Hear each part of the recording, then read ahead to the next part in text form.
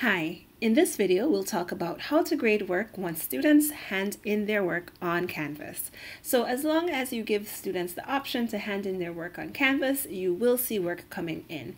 This will come up on the right side of your homepage. So this to-do list will have all the grading that you are required to do.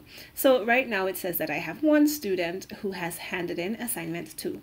If I had 10 students who had handed in that assignment, that number would be 10. If I had other assignments, the list would be longer. So I'd go ahead and go into the assignment that I want to grade.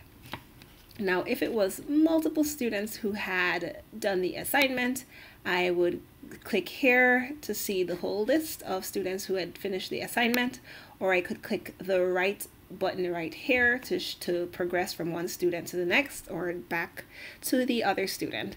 So as you can see, I already started to annotate the student's work. This work, this thing in purple I had written earlier, this highlight I had added earlier. So I can go ahead and do other things. I can handwrite stuff um, if you want for a math teacher that's kind of helpful. Um, I can type things, which you can see here. I can zoom in and make it bigger. Um, or I can zoom out and make it smaller. Sometimes students hand in work upside down or sideways. This is super helpful when that's the case. Um, and once I've finished annotating the student work, I can go ahead and give it a score. Now, as you can see, the grading period is closed for this student. That just means that I am in a fake course that doesn't really have a start or end date, so I can't actually grade this, but if I could, I would press one, that would show up here.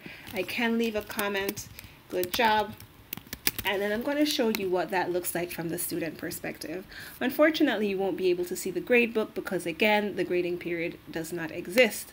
But I do want you to see what the student does see on their end, um, which is not a lot because there is no grade.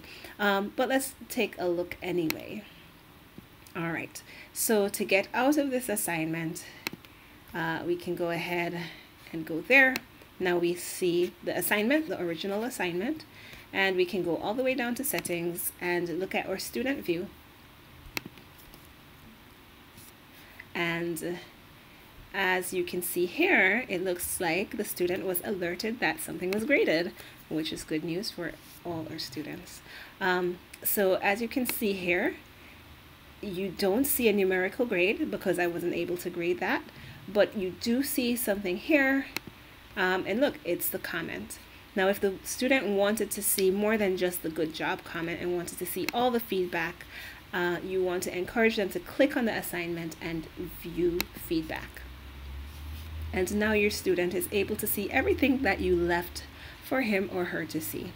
And so now that gives you an idea of the communication that can happen back and forth between you and your student through Canvas.